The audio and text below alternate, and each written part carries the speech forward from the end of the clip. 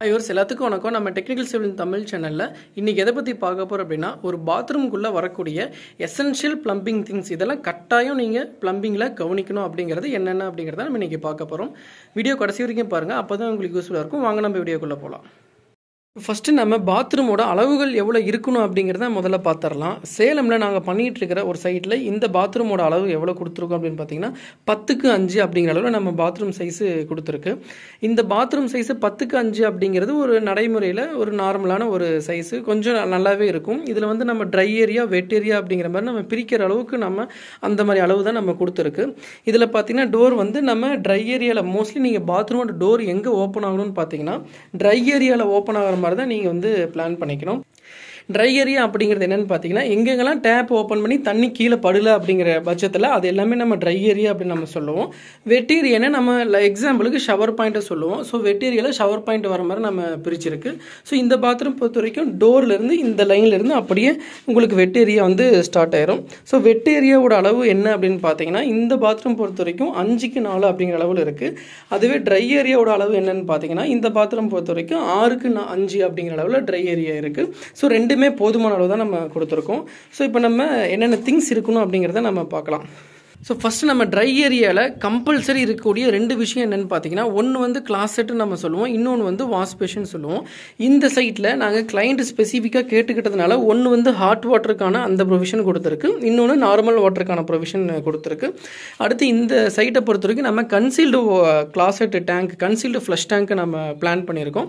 இது concealed flush tank ஆயிரும். இதை சுற்றி உங்களுக்கு லெஜ் வால் கட்டுவோம். அந்த லெஜ் வாலோட கான்செப்ட் என்னங்கிறத உங்கள் பேக்ரவுண்டில் நான் இமேஜில் காமிக்கிறேன். ஸோ இது எல்லாமே ட்ரை ஏரியா இலை வரும். அடுத்தது பார்த்தீங்கன்னா வெட்டீரியா அப்படின்னு நம்ம சொல்லுவோம். இந்த வெட்டீரியாவில் கம்பல்சரி நம்ம ஷவர் வந்து இந்த வெட்டீரியாவில் தான் நம்ம பிளான் பண்ணுவாங்க. இந்த பாத்ரூம் பொறுத்த வரைக்கும் நாங்கள் டைவர்டர் யூஸ் பண்ணியிருக்கோம். அதாவது வால் மிக்சர் போடாமல் ரெண்டு டேப் வரும். நீங்கள் பொதுவாக பார்த்துருப்பீங்க மிக்சரில் இதில் ரெண்டு டேப் வராது. ஒரே ஒரு சிங்கிள் டேப்பு தான் இருக்கும். இந்த டேப்லேயே உங்களுக்கு ஹாட் வாட்டர் வரும் நார்மல் வாட்டர் வரும் ரெண்டு மிக்ஸ் பண்ணி வரும். ஸோ இந்த மாதிரியான டைவர்ட்ரு நாங்கள் யூஸ் பண்ணுற மாதிரி பிளான் பண்ணியிருக்கு. அதுலேயே உங்களுக்கு சீலிங்கில் வந்து சாரி வாலில் வந்து ஷவர் நம்ம பிளான் பண்ணியிருக்கோம். இந்த ஷவரை பொறுத்த வரைக்கும் உங்களுக்கு ஃப்ளோர் லெவலில் இருந்து கம்பல்சரி எட்டு அடியில் நாங்கள் ப்ளேஸ் பண்ணியிருக்கோம். எட்டு அடியில் ப்ளேஸ் பண்ணியிருக்கோம். அது ஏன் அப்படின்னு பார்த்தீங்கன்னா இந்த சைட்டை பொறுத்த வரைக்கும் ரெயின் ஷவர் நம்ம யூஸ் பண்ணுற மாதிரி நம்ம பிளான் பண்ணியிருக்கு. ஸோ ரெயின் ஷவர் நீங்கள் பிளான் பண்ணினீங்க அப்படின்னா கம்பல்சரி உங்களுக்கு ஃப்ளோர் லெவல் இருந்து எட்டு அடியில் தான் உங்களுக்கு ஷவரை வந்து நீங்கள் பிளான் பண்ணணும். அது கம்மியாக பிளான் பண்ணிட்டீங்க அப்படிங்கிற பட்சத்தில் அந்த ட்ராப்ஸோட ப்ரெஷர் வந்து உங்கள் தலையில் நீங்கள் ஃபீல் பண்ணுற மாதிரியும் அதனால ரெயின் ஷவர் யூஸ் பண்ணக்கூடிய எல்லாருமே அந்த ஷவர் பாயிண்ட் பாயிண்ட்டை ஃப்ளோரில் இருந்து எட்டடியில் பிளான் பண்ணுறது நல்ல விஷயமா பார்க்குறோம்.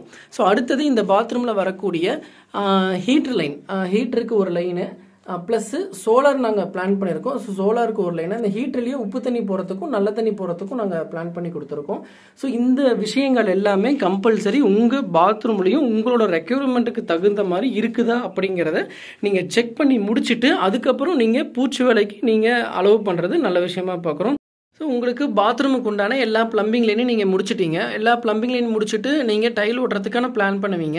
அப்படி டைல் ஓட்டுறதுக்கு முன்னாடி நீங்கள் பிளாஸ்டிங் பண்ணிடலாம் பிளாஸ்டிங் பண்ணி முடிச்சுட்டு டைல் ஓட்டுறதுக்கு முன்னாடி இந்த பாத்ரூமில் இருக்கக்கூடிய எல்லா லைனோடக்கு இந்த மாதிரி கீ கார்டு ஒன்று போட்டு இல்லை க்ளோஸ் பண்ணிடணும் கீ கார்டு போட்டுட்டு க்ளோஸ் பண்ணதுக்கப்புறம் என்ன பண்ணணும் அப்படிங்கிற பட்சத்தில் நீங்கள் டைல் ஓட்டுறதுக்கு டூ டே த்ரீ டேஸ்க்கு முன்னாடி மேலே டேங்கில் இருந்து ப்ரெஷர் பம்பு கொடுத்து தண்ணியை ரொம்ப ஃபோர்ஸாக உள்ளே இன்சர்ட் பண்ணி நீங்கள் செக் பண்ணணும்.